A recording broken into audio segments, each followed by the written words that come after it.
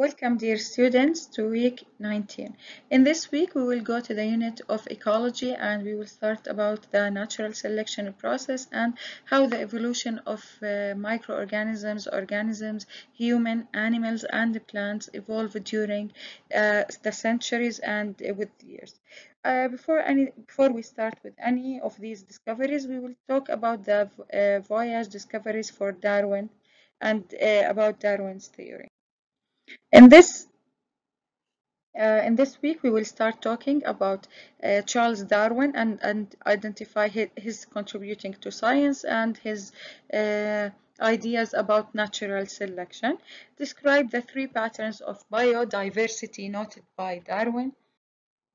Now, Darwin epic journey. In, in, in regards to Darwin, uh, we will start about talking about his uh, journey of discovery, about the nature of the science and how the, uh, the epic journey started by the evolution of birds and the evolution, uh, the evolution of uh, the theory of biological evolution that offered a scientific explanation for the unity and diversity of life, as by purposing how modern organisms evolved through the, uh, through uh, the, uh, from one generation to another, from common ancestor to other to the others.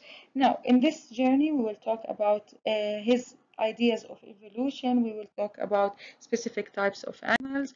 Uh, we here can see the observation of type of beagles uh, that found in different places in uh, in different places in the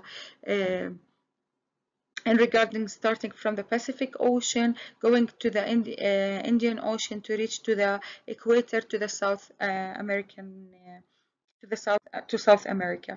Now he talked about specific species. One of them uh, species like very glob uh, that are very globally, but they are from the same ancestor.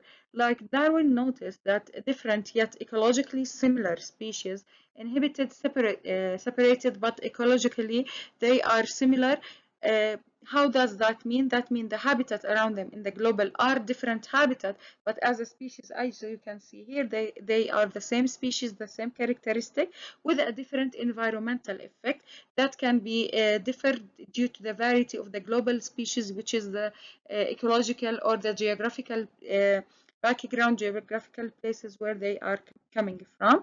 Also, they are uh, specific species as you can see in the pictures they are the same species which is the turtle but because they vary locally because of the different uh, resources for food nutrient uh, water the ability of water you can tell that the characteristic of these animals are different.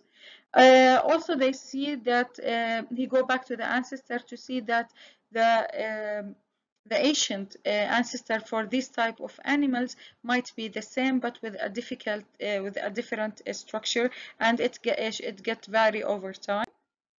Uh, this is to put um, in this part where Darwin put all of the species together and put the pieces together to talk uh, about the uh, the purpose or the the starting of talking about the natural selection